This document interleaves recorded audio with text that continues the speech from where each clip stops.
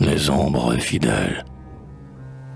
Avec ton souvenir qui accoude dans mon songe, la statue aux yeux clos qui serait ton ombre, si ta voix n'était pas morte dans mes pensées, fraternelles, et leurs mains entre elles enlacées, j'ai dans mon souvenir, debout et face à face, ancien témoin et qui se parle à voix basse, l'un qui sourit encore à l'autre qui larmoie, le désir de la mort, le désir de la joie, qui se tiennent ainsi ne me quittent pas.